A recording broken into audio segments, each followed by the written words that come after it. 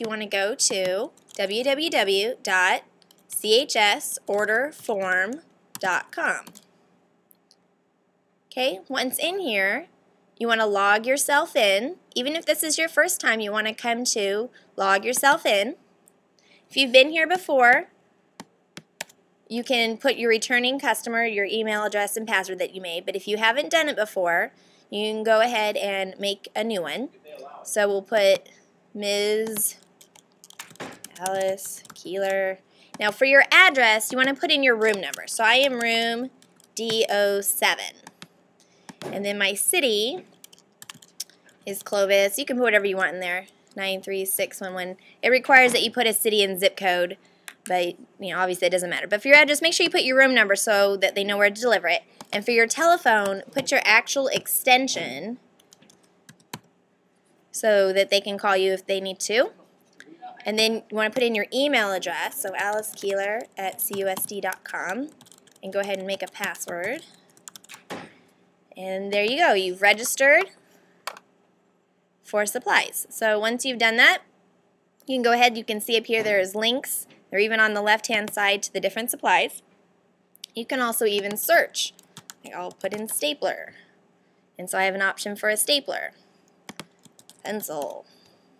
These are some different pencils. So you can search for things. So once you're in the category, you can say how many of each thing that you want. And it's being a little ridiculous here. I want some binders. So once I add those, I'm going to add the selected products to the cart. And you'll notice up here at the top, it says I've added them. Maybe I'm going to order some pins. So I'm going to get me some black dry erase pens. And I'm going to order 2,000 of those.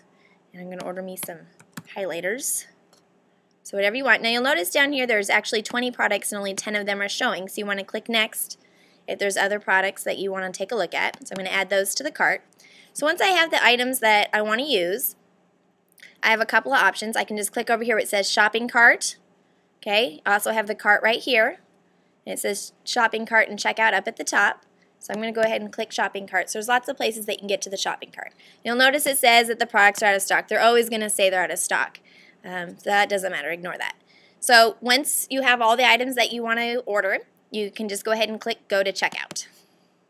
Now this is a three-step process. Notice there's step one of three, and it seems kind of ridiculous. This is a, an order form, but it's actually pretty fast and easy. You just want to go ahead and walk in. If you have special instructions, you know, in this case, I'm going to type in, this is a fake order. Do not fill. Okay, and then I want to click continue checkout. Now you notice that I'm on step two of three. Okay, I don't need to I don't need to pay anything. I don't need to do I'm just going to scroll all the way down and I'm going to continue checkout. Okay, now this is step three of three. So make sure you go through all three steps. So once again, just go all the way down and you have to confirm the order.